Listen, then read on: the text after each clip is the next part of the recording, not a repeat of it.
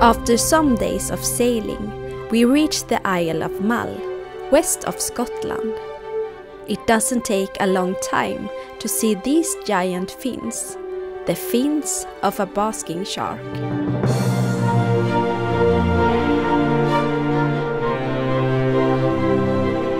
As the visibility is so poor, we just can hope to see a glimpse of that huge shark underwater.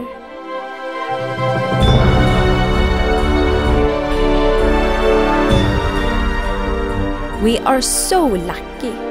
The second largest shark on the planet, which can be 12 meters long, seems to be curious about us.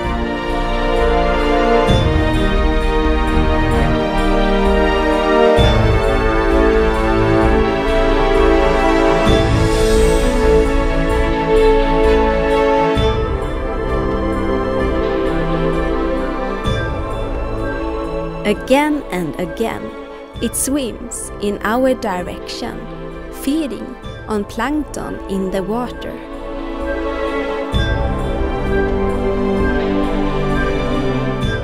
The teeth of this species of sharks are very small. It filters 2000 liters of water every hour.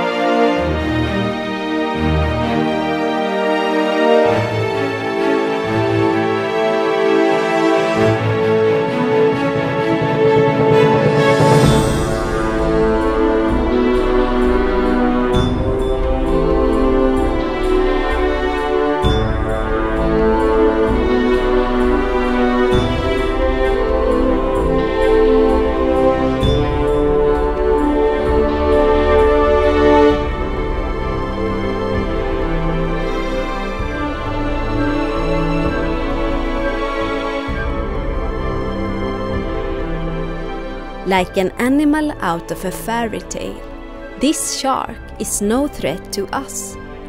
As its cousin, the largest shark in the world, the whale shark. The basking shark eats mostly zooplankton, the smallest animals in the sea.